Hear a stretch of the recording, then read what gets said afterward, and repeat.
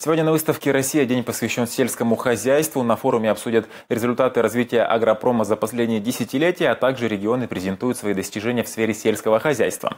Для посетителей открыты мастер-классы, например, по лепке пельменей и даже парад сельхозпродукции в программе.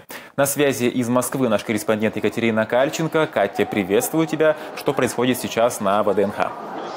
Дима, приветствую. Вот как сделать так, чтобы объем экспорта сельскохозяйственной продукции вырос в два раза? Как привлечь инвесторов в регион? Об этом сегодня готовы рассказывать тюменцы на выставке форуме «Россия». Сегодня день сельского хозяйства.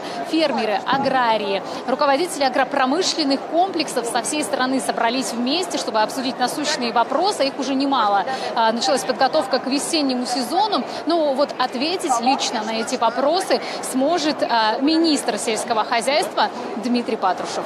А, будем обсуждать вопросы и цифровизации, и использования беспилотных систем, тех же самых дронов в повышении производительности труда наших производителей. А, большая интересная секция будет посвящена селекции семеноводству.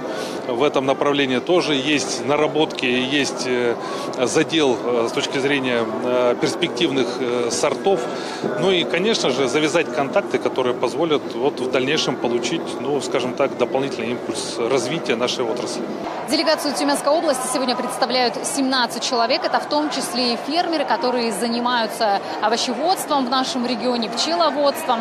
Сегодня в рамках форума проходит еще и большой съезд фермеров со всей России. Лично смогут они задать вопросы министру э, сельского хозяйства. Наших, например, интересует льготное кредитование, какие условия будут действовать а, в 2024 году. Ну, вообще программа достаточно насыщенная. А, сегодня здесь открыт открыта и сельскохозяйственная ярмарка, и э, будут действовать различные мастер-классы, а на главной уличной сцене выступят знаменитые э, звезды Иванушки Интернешнл, насколько знаю, Алена Апина. В общем, думаю, каждому здесь будет чем заняться.